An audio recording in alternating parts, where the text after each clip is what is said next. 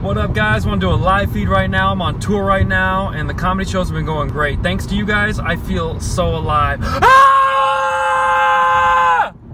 Oh, phew, we're going the same direction.